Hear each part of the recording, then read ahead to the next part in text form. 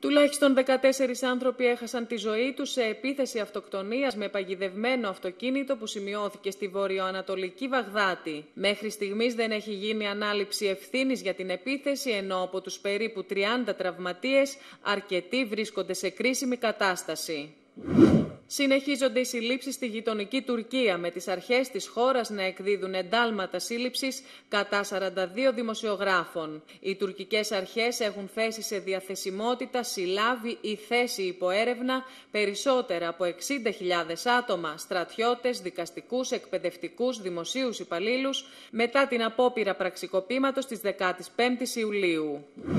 Η Ευρωπαϊκή Ένωση θα σταματήσει αμέσως την ενταξιακή διαδικασία της Τουρκίας σε περίπτωση που η χώρα εφαρμόσει τη θανατική ποινή, δήλωσε ο πρόεδρος της Ευρωπαϊκής Επιτροπής Jean-Claude Juncker. Παράλληλα σημείωσε ότι η Άγκυρα δεν βρίσκεται στο σημείο για να γίνει μέλος της Ευρωπαϊκής Ένωσης στο άμεσο μέλλον.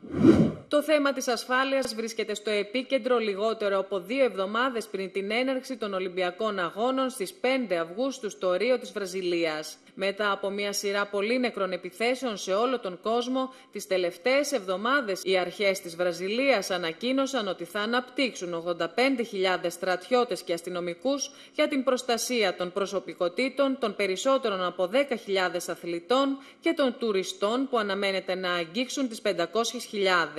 Όπως ανακοινώθηκε στην τελετή έναρξη της 5ης Αυγούστου θα παραστούν 45 αρχηγοί κρατών και κυβερνήσεων.